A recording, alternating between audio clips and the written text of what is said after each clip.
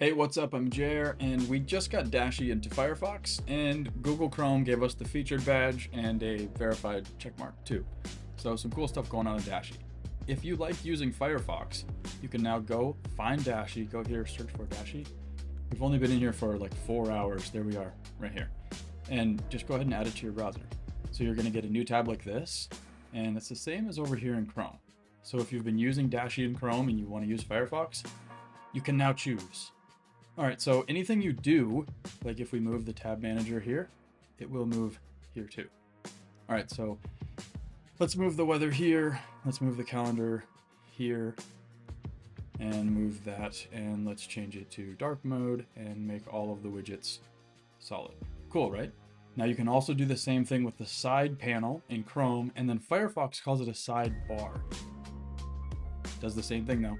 So we have Dashy open four times let's just close some stuff because it's just getting a little bit crazy. And then right click to arrange the widgets. Okay, so we're just down to four.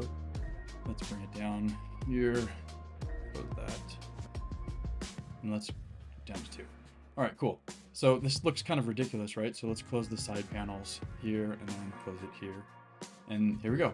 So you can now have your home page be whatever widgets you want them to be, or you can open up a sidebar or side panel just like this and have whatever widgets that you want to make your day and your navigation and your productivity just so much easier to navigate throughout the day. Check out Dashy, it's free. Try it out, let us know what you think, and please let us know what integrations you'd like to see next. We just added Todoist, a tab manager, bookmarks for your browser.